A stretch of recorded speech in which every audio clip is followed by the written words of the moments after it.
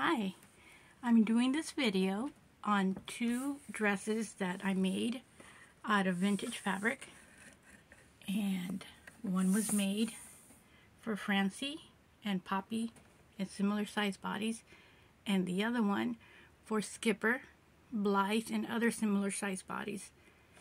As you can see, the fabric is vintage.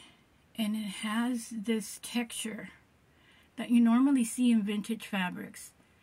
It's a canvas type thick fabric and as you can see over here there is a age spot or a factory spot on the the right side of Skipper.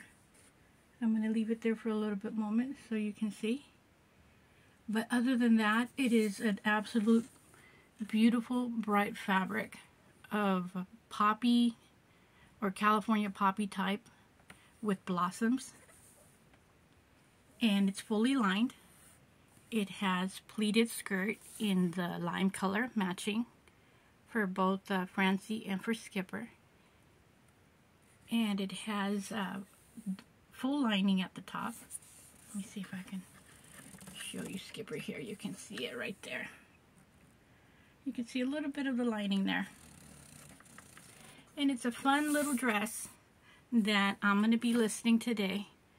Every dress is going to look different, especially on the future ones. I don't have any more of that lime fabric. I used it a lot a few years ago for Mod Barbie with a vinyl top that if I find the lime fabric, I'm going to do it. But I have not listed it for that reason. But here it is, one more look. Sorry about the shaking. If there's too much shaking here, I'm holding it.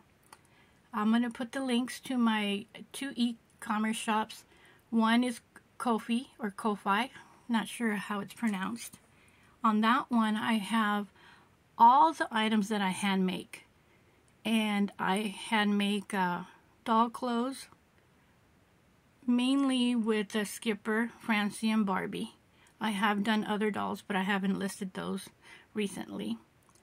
Commissions for costumes and costumes, but I did not do that this year. But the commissions are open, but Halloween is coming up. But there's always special occasions, so I'm going to leave that open to show what I've done in the past. And the other one is Mercari. I'll put the two links my Instagram is Haydee Sews, and you'll be able to see everything there. Thank you for watching. Thank you for liking, subscribing, and sharing. Until the next video, bye.